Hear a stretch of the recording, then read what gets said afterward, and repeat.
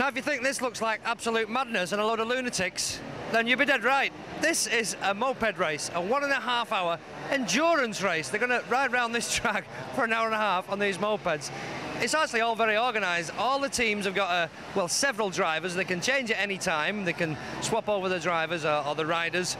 Uh, some of the team names are, are unbelievable. Uh, most of them totally unrepeatable on television. But have a look at this lot. They're crazy.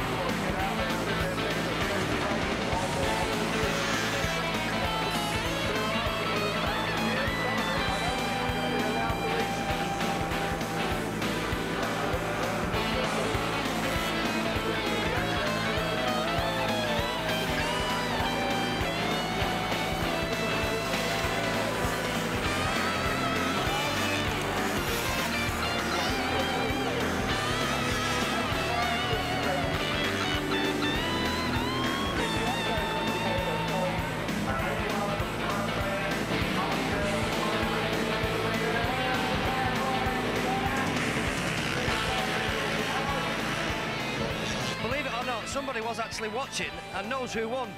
And this is the winning team. Look, I love this uh, hat. What's what's the name of your team? Well, the Dangerous Brothers. The Dangerous Brothers, Yeah, we've right? got- We've got the uh, marigold on our crash helmets just to ke- make us more distinctive. Oh, I think it's very nice. Yeah. Something that our motorcycle club do at um, these sort of events, beach races, so that uh, people can tell Right. whose ride is. You, makes you more distinctive. Right. So how many you, how many have been riding? The two of you? Yeah, just two Just of two of you.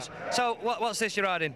That's uh, an FS1E, I think. That's his bike. I don't know. I'm not sure. An FS1E, blooming heck. I remember them from years ago. So, Yeah, that's right. how many laps did you do? Do you know? No idea. Haven't got a clue.